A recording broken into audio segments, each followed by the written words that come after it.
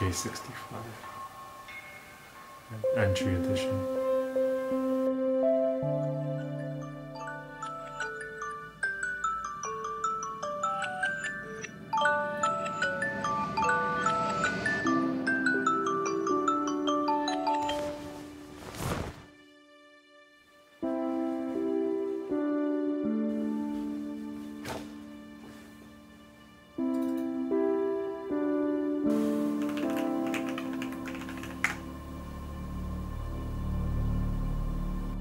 Hi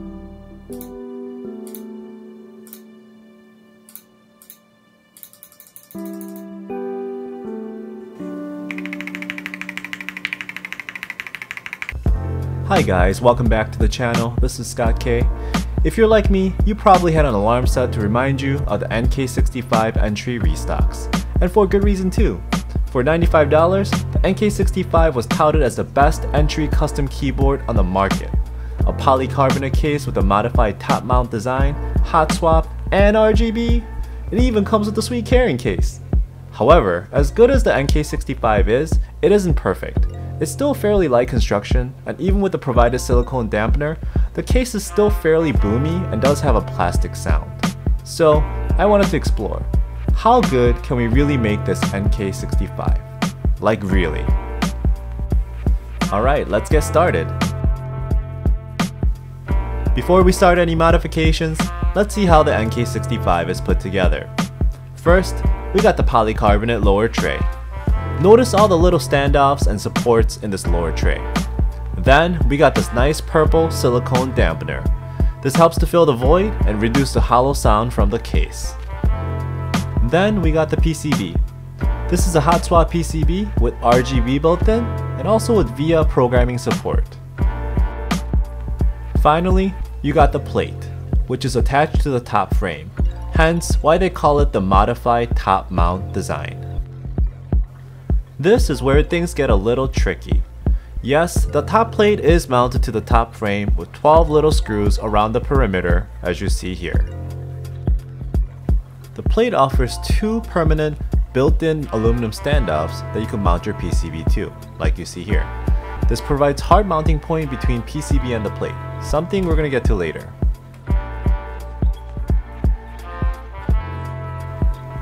Then the whole thing is screwed in like this.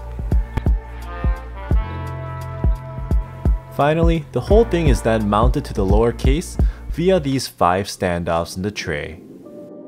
Hold up, wait a minute. If the entire thing is mounted into the tray, does that mean it's actually a tray mount keyboard? Depends on how you look at it, but if you remove the plate from the top frame like I did here, you can actually still assemble the whole thing together this way. And so yes, it appears it is a tray mount keyboard. So we're gonna do some stuff some minor, and some irreversible. So if you decide to follow along, please do this at your own discretion. We're gonna do this in three different stages. Stage 1. We're gonna insert some foam between the PCB and the plate and reduce the hollowness. Then we're gonna use some silicone o-rings to burger mount the top plate to the frame. Stage 2. We're gonna do what I did for the Tofu 65 and use o-rings to float the PCB on the plate above the center standoff. Stage 3 we're gonna go a little crazy and turn this into a true top mount keyboard. Stages 1 and 2 are completely reversible and if you choose to do so, always turn it back to stock. Stage 3 will make irreversible changes that you will not be able to go back, but perhaps it'll all be worth it. Before we get started, here's a stock NK65 sound test.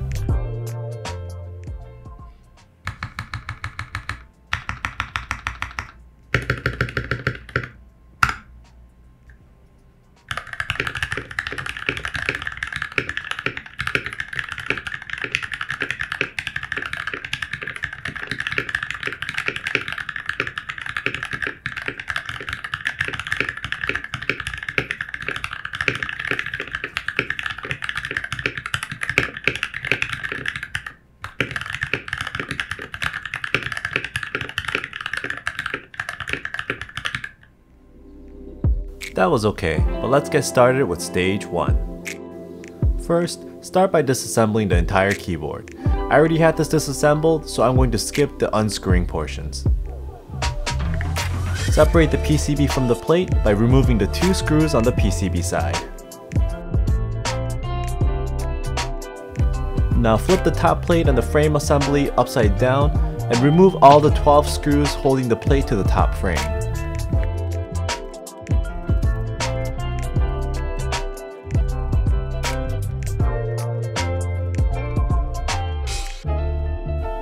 Now we will start the foaming process. We're going to be using vinyl 3 16th inch foam that we're going to be cutting and sticking onto the underside of the plate. Is this ghetto? Of course it is. Does it work? This foam absorbs reverb and vibration very well. Plus, it's $2 for an entire 17 foot roll. I could have purchased pre-cut foam from a vendor for about 20 bucks or so, but I wanted to achieve the best NK65 status with as minimal investment as necessary.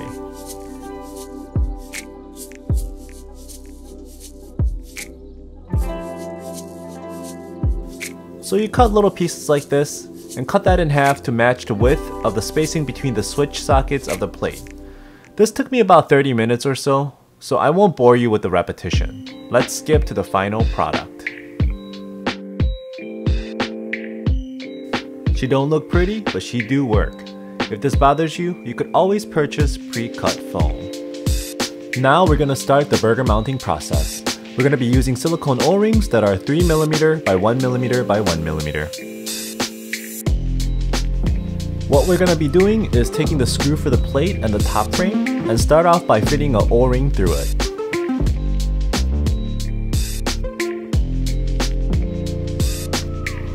So we're going to take a slightly different approach to this this time. This actually was a recommendation from a viewer on the Tofu video. Instead of trying to place an O-ring on the standoff itself, we're going to stick it onto the underside of the screw so it's easier to place overall.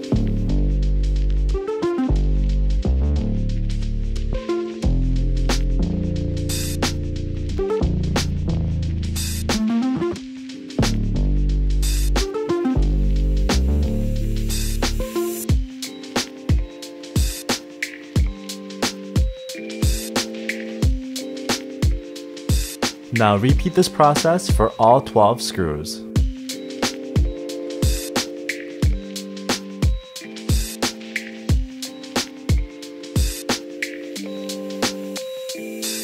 Now screw the plate into the top frame with your O-ring screws. Remember not to tighten it too much where the O-ring just pops off the screw head.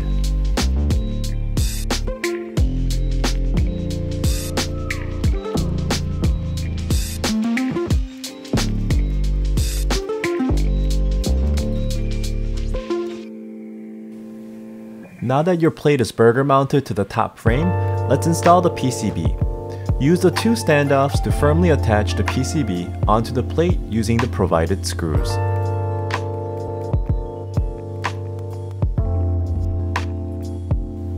Now place this top assembly back onto the lower tray and screw it down into the five standoffs below.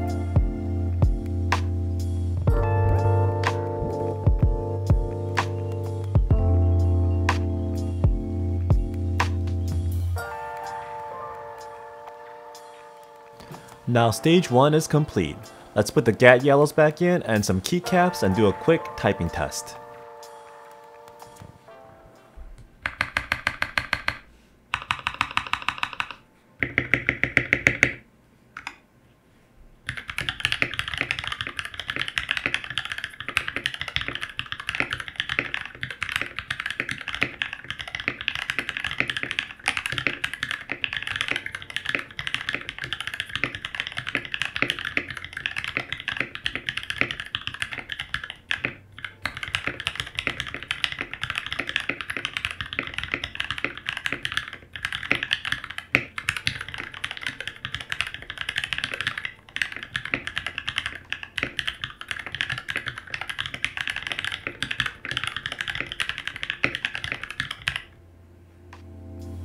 It's already starting to sound cleaner. Let's move on to stage 2. Start off by removing the keycaps to access the standoff screws.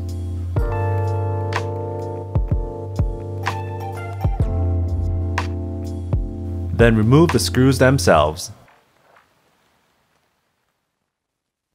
Now repeat this process for all 5 standoff screws. With the screws removed, Gently lift up the top assembly from the lower tray. Now notice the standoffs below. For stage 2, we'll be using the two outer standoffs on the left, and skipping the center, then using the two outer standoffs on the right. The rest of those pegs are actually not screw-in standoffs, but rather support for the bottom of the PCB, more hard contact areas. For stage 2, we'll be using two different sizes of silicone O-rings. The O-ring between the lower standoff and the PCB plate will be the 4 by 1 by 1.5 as you see on the left. The O-ring between the screw and the top of the plate will be the smaller 3 by 1 by 1 you see on the right. We're going to start by prepping the screws with the smaller O-ring. Slide the O-ring from the bottom and turn the screw while holding the O-ring to get it up the thread.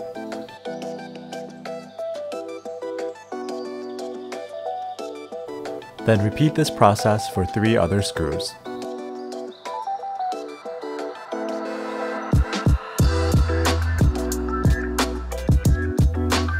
Now, place the larger O-rings on top of the outer four lower standoffs as you see here.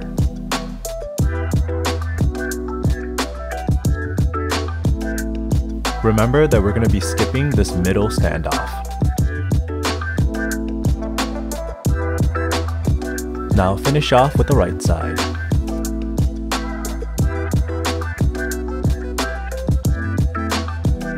Now that you have all the O-rings in place, gently place the top assembly onto the lower tray.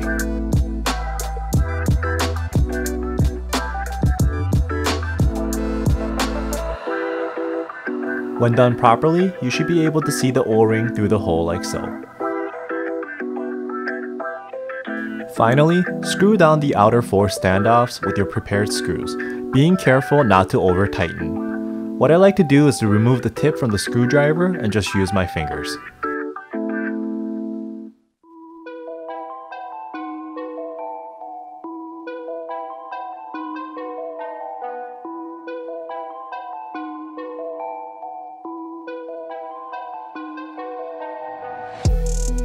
Now put the caps back and let's go for a typing test.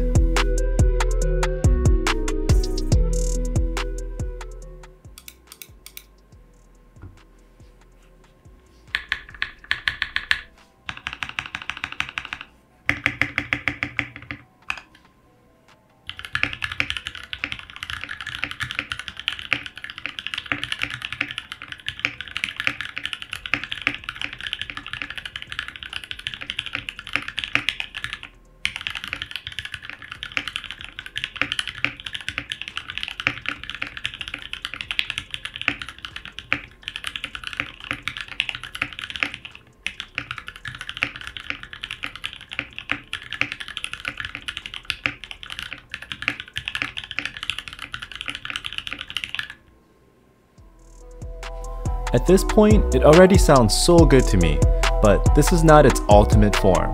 Let's move on to stage 3. First, start off by removing all of the caps.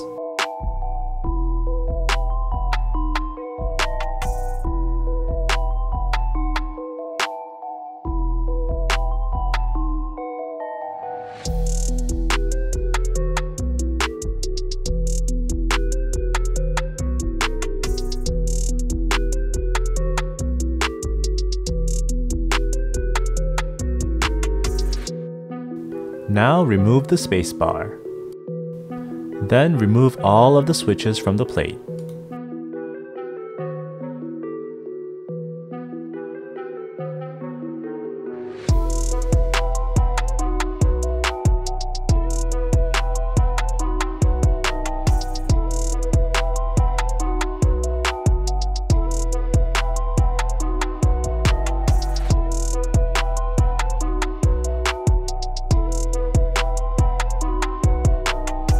Finally, remove the four screws that were in place from stage 2.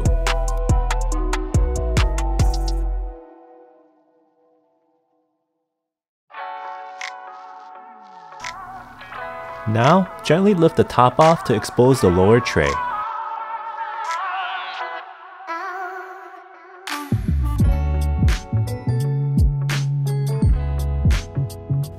Now, this is where it gets interesting time to do some drilling. Take your time with this. Place the drill bit over the standoff and slowly drill away the material. Make sure you don't go all the way through and make a hole in your case or your desk. You can also use some wire clippers and just cut them cleanly off as well. Rather than watching me drill all of these standoffs and supports, let's move to the final product. Now we have all the standoffs and supports drilled off and removed. Next, we move on to the aluminum standoff on the plate. This is what creates the hard mounting between the PCB and the plate. Similar process here as the tray. We take the drill bit and slowly drill away the top of the standoff, enough that it no longer touches the PCB.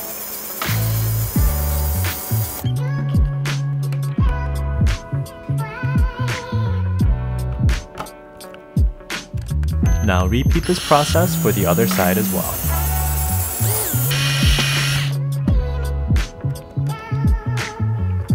Now that the plate standoff is removed, we can move on to the next step, the assembly. With no PCB standoff, you might be wondering, how do I keep the PCB in place now? This is similar in concept with what happens with certain top and gasket mount keyboards. As you can see, the switch itself provides enough friction to hold the entire PCB by itself. Before we start friction fitting all the switches and the PCB together, start off by placing one switch in each corner so that we could guide the PCB on and in place. Gently place the PCB down, and then make sure the switches are going into the hot swap sockets without bending any of the contacts. Finally, install all of the switches into the plate and PCB assembly. I use the box to prop up the PCB so it does not fall out while I'm pressing in the switches.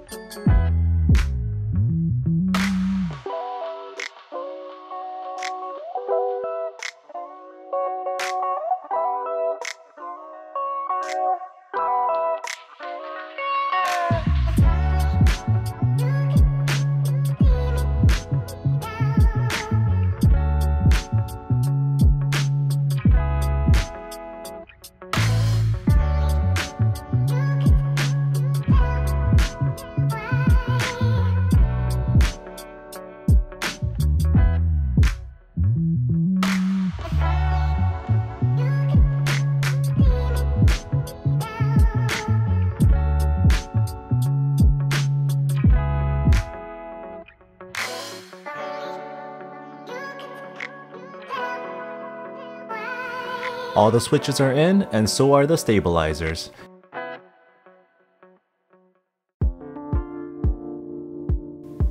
With no lower tray standoff, you might be wondering, how do I keep the top and bottom from coming apart? You're correct, that is a legitimate concern. However, there is a solution to that. Friction fitting. Overall, I noticed that the upper and lower frames of the NK65 fit pretty snug together in the first place. However, I noticed the corner is where the most amount of grab was. I used three layers of masking tape for the rear corners to create a tighter squeeze between the upper and lower pieces. A better solution is actually gaffer tape, which is pressure sensitive and works like a smoother duct tape. I also put one layer of the masking tape in front for good measure, but I feel it isn't necessary given how tight this fit was. The silicone dampener back in and get ready to friction fit the top. So you might be thinking, yo Scott, this is ridiculous, that's not gonna hold. Actually, this was such a tight fit that it required quite a bit of force to push it down. However, this is still removable. I was able to use a small screwdriver in one of the screw holes to push the cases apart. There you have it, the stage 3 is now complete. It was pretty daunting to think that I will be drilling this keyboard apart, but at the end of the day, it turned out to be very nice. The NK65 is no longer a modified top mount, it is a true top mount keyboard. One thing I noticed right off the bat was how even the key presses were. Without further ado, let's jump into the sound test and see how it compares to the other stages.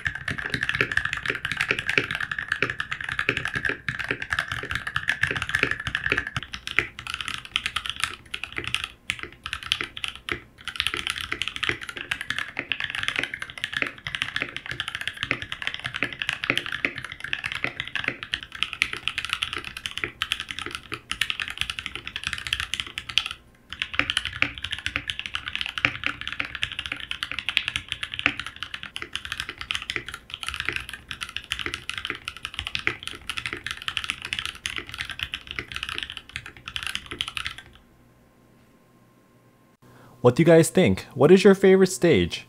Personally, I'm torn between stage 2 and 3. Stage 2 has more pop and has a warmer sound signature. Stage 3 is extremely even and refined and almost doesn't even sound like a plastic case. Please comment below and share your preference. As usual, if you enjoy the content, please like and subscribe, and I will have more content for you in the future. Before we end, here is a little bonus of the Stage 3 NK65 with SA keycaps. Just oh so good. Thanks.